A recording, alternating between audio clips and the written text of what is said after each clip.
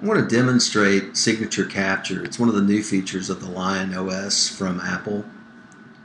And the way it works is when you go into the preview application, let's say that you're looking at a PDF receipt from a business trip, you can go in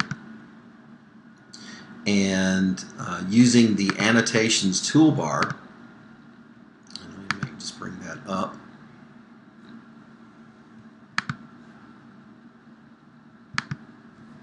We can capture our signature from a piece of paper. So I'm got a signature I created, black ink.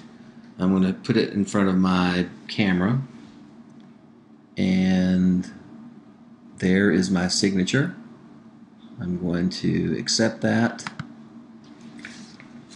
And then go into my document where I would like for my signature to appear. Scope it out.